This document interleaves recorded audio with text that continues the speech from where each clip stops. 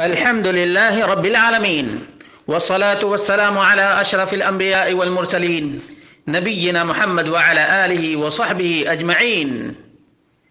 قال الله تعالى والسابقون الأولون من المهاجرين والأنصار والذين اتبعوهم بإحسان رضي الله عنهم ورضوا عنه.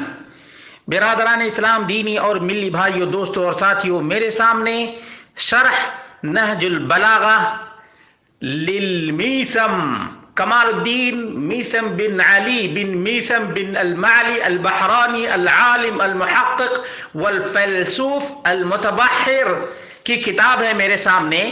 جلد نمبر ایک ہے، صفحہ نمبر اکتیس ہے۔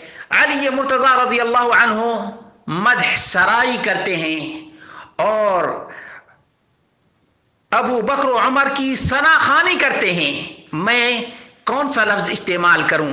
دیکھ لیجیے، علی مرتضی رضی اللہ عنہ کہتے ہیں کہ وکان افضلهم فی الاسلام کما زعمت وانصحهم للہ۔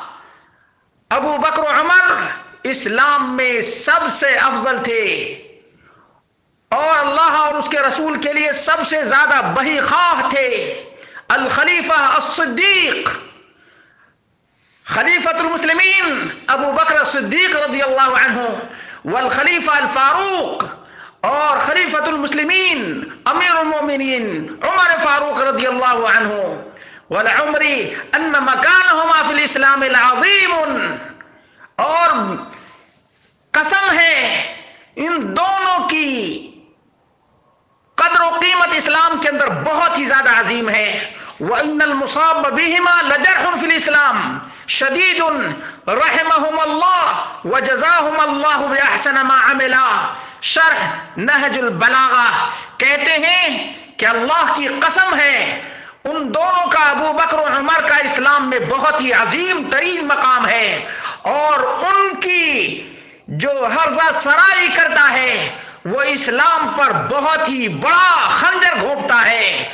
اور یہ بہت ہی شدید ترین ہے۔ اللہ تبارک و تعالیٰ ابو بکر و عمر پر رحم فرمائے اور اللہ رب العالمین ان کے اعمال کا بہترین سینا اور بہترین بدلہ عطا فرمائے۔ مسلمانوں، علی مرتضی رضی اللہ عنہ کا یہ پیغام ہے۔ شیعہ رافضی اور تحریکیوں کے نام ہے اور ان تمام سبائی ٹولے کے لیے بہت ہی بڑا یہ ضرب کاری ہے جو ابو بکر و عمر کو رات دن گالیاں دیتے رہتے ہیں۔ ابو بکر و عمر رضی اللہ عنہما۔ اللہ اکبر۔ شیطان جس طرح سے ابو بکر و عمر کا نام سننا نہیں گوارا کرتا، اسی طرح سے یہ رافضی سبائی مجوسی اور یہودی کی ناجائز اولاد ابو بکر و عمر کا سننا نہیں کرتے ہیں۔ اس لیے مسلمانوں، تم اپنی آنکھیں کھولو۔ یہ وہ کتابیں ہیں جو یہ رافضی چھپاتے ہیں، لیکن چھپنے سے یہ چھپنے والی کتاب نہیں ہے۔ یہ تو چھپ چکی ہے۔ رافضیوں تم کہاں تک چھپاؤ گے؟